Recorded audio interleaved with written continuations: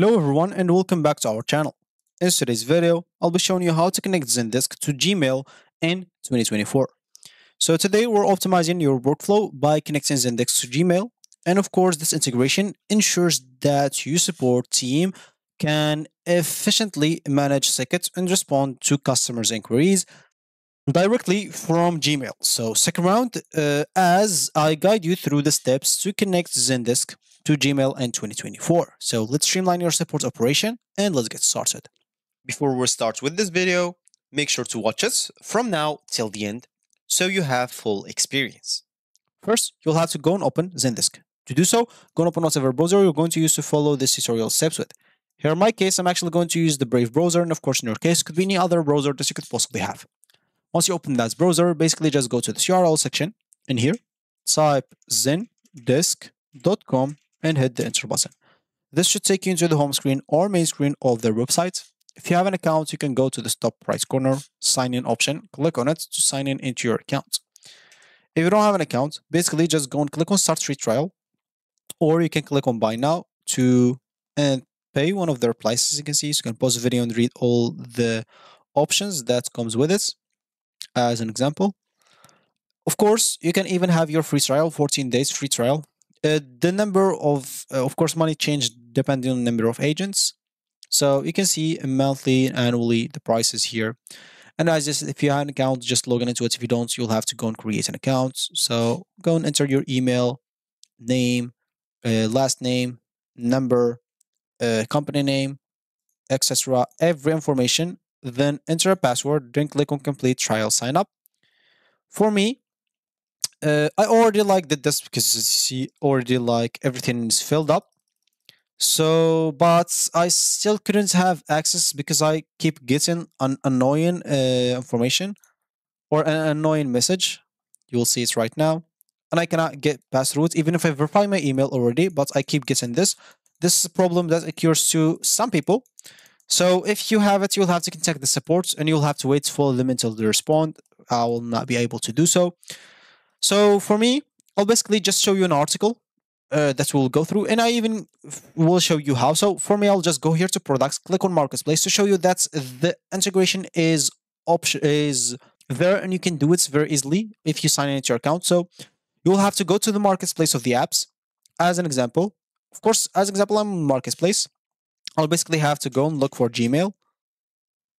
And here, if I scroll down, I'll find like a lot of apps. So click on two, we'll have to look for the Gmail app to add it.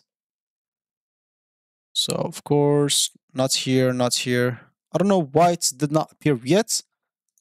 So yeah, there's a lot of apps. So when I type Gmail, normally it should be in there. I don't know why it did not appear.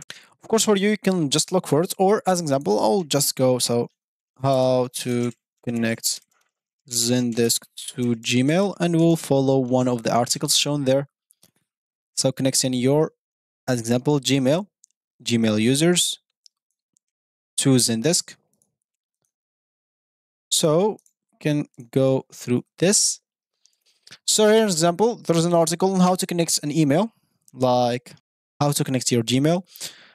Of course, connecting your Gmail, even very easily, I just remembered, without even going to the marketplace, if you are just creating your account on Zendesk, if you use the same email uh, to create, of course, a Zendesk account, the same one as you have in Gmail, sorry, not GoDaddy, in Gmail, then the two options will be already like linked in. So as an example, well, if I click on like sign up or free trial in here, so, okay, I clicked on many things none of them is right. It's fine. I'll just go here to free. So here, as you can see, make sure to use your Gmail email. If you use it, the connection will be already established. You don't have to do to go to the marketplace. I just remember that's that's why it did not appear in here. Normally, when you type Gmail, or as an example, I will just type Teams, or sorry, Microsoft like Teams or something like that. I'll find everything I type in here. Why I did not find Gmail? Because Gmail is already connected if you use the same Gmail to create an account. As you can see, uh, verify your account. I already like uh, click on verify. I already verified my account.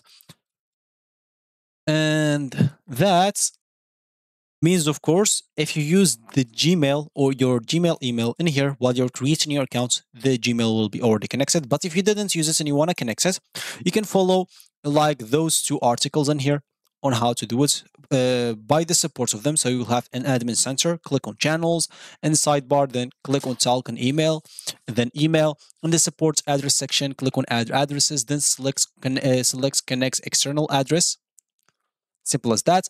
If requested, sign into your Gmail accounts. As simple as that. And here, sign in with Google. Google, of course, is Gmail. So because G Gmail is provided by Google. Then if you don't if you don't want to import any pre-existing emails as tickets, then select create tickets from last 20 emails. You can then when this option is selected, last 50 emails regardless of read and read status will be imported as tickets when it's it's selected, pre-existing emails will be imported as tickets. Then click on sign in Google, follow on screen prompts to connect to your Gmail account. Click on finish. And yeah, you can now even manage your Gmail connection. Like the settings, you can uh, edit those settings however you want. You'll be able to navigate through them and configure the Gmail integration. You can follow the on-screen instructions to configure the Gmail integration. You may need also to sign in uh, or sorry to grant permissions for Zendesk to connect with and even uh, give permissions to do any necessary navigation. You can even customize your Gmail integration by choosing the settings for ticket creation and notification. You can configure the type of notification you want to receive in Gmail such as new tickets or tickets updates. And of course, before even finalizing the setup, test the integration to ensure that Zendesk notifications are successfully appearing in Gmail. And this will help verify that the connection is working as expected.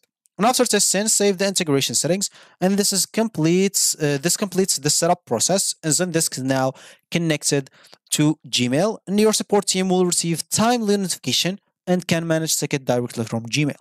Regularly make sure to even monitor the integration to ensure the notifications are accurate and timely adjusts settings in Zendesk or Gmail as needed to optimize the workflow for your team support. So there you have it. You successfully connected your Zendesk to Gmail in 2024.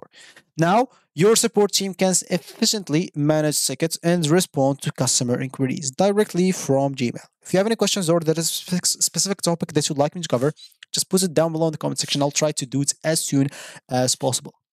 So thank you for watching and happy supporting and see you and I will see you in the next video. Of course, if you like this video, make sure to leave a like down below and subscribe to our channel for more helpful tutorials like this one. Thanks for watching and goodbye.